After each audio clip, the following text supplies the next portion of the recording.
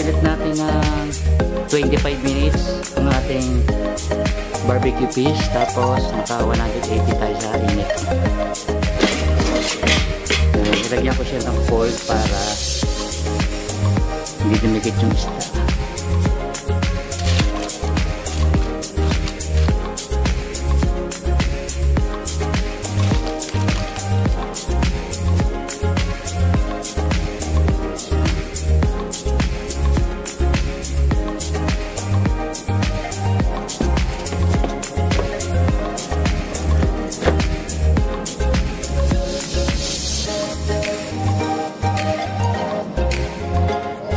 So, hintayin natin ng 25 minutes.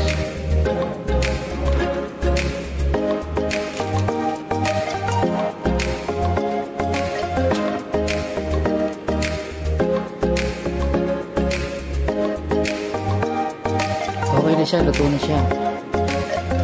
So, kita nyo, ang sarap, ang bango. no? Yan ang Hickory Barbecue Fish. Talakitok na isda po ginamit ko.